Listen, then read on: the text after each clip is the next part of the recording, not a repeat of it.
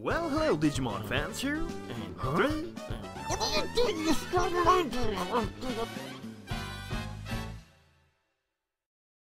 Well, hello, Digimon fans. Today we're gonna speculate again. Yes, we're gonna make another theory. Yeah, most likely we're gonna do that. But we're gonna talk about Gennai, Maki, and Hackmon, and Meicoomon and Meiko.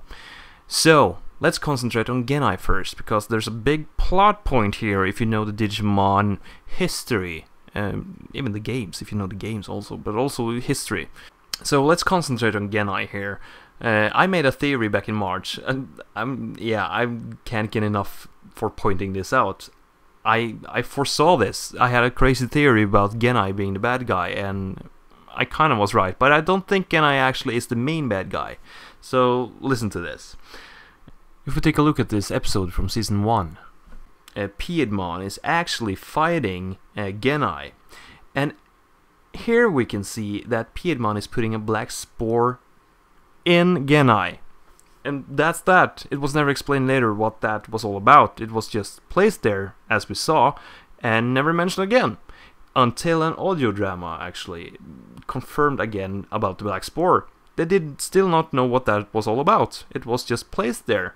Getting me thinking that maybe this Gennai was the Gennai that got the Black Spore back in season 2 therefore getting the Gennai corrupted, and maybe this Gennai is not evil on purpose, but he was forced to become evil because of the Black Spore. He became corrupted because of it, but it not did not trigger before recently.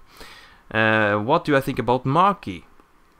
I still think that Maki is one of the original Digi Destined. Um, I think that she had a connection to Gennai, and maybe Gennai contacted her from the first group because yeah, they know each other that much, so Maki trusted Gennai when he approached her uh, and told her about his big plan. And even though it's a corrupted plan, she might just think that it's a good one because she doesn't know better.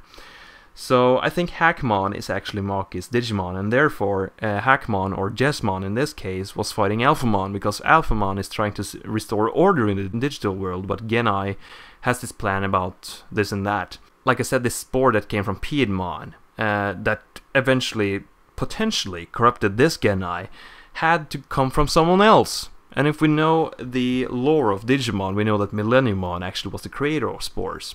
So that raises another question. Could Millenniummon be the main villain again in this uh, Digimon Adventure Tri movie series? It could most possibly be, because we know that Millenniummon is the creator of spores, black spores, and what did Gennai get back in season 1? He did get a black spore, and maybe that was also a part of the plan of the show's creators, and maybe those were supposed to be filled in the third season of Adventure back then, if there was a third season planned. It might seem so, because we're getting it technically getting it now. So, all in all, maybe that Gennai is an corrupted evil villain uh, in this season. It might just be, but it's a corrupted Gennai because he got this spore. So I don't think it's on purpose though. Where does Meiko and Meicoomon uh, connect in all this? I think that Maki actually, since she's working with her father, I'm not sure the whole thing around there yet. Uh, for some reason got her father in on this and her father kind of purposely gave her Meicoomon so she would find Meicoomon and take the plan from there. And they were just planning ahead, thinking at sometime in the future they will meet and Meicoomon will corrupt the Digidestin and everything around them. So I think this was a plan long in the making, maybe since the second season, if you know what I mean. So technically four years in the making, most likely, in this show then. So I think that Gennai has an evil plan, receiving messages from maybe Millennium Millenniummon?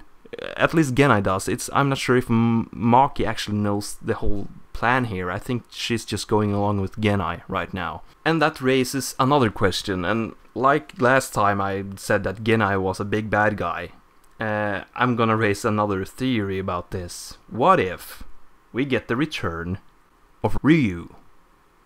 Yes, what if he actually shows up with Cyberdramon and we actually get to see the battle?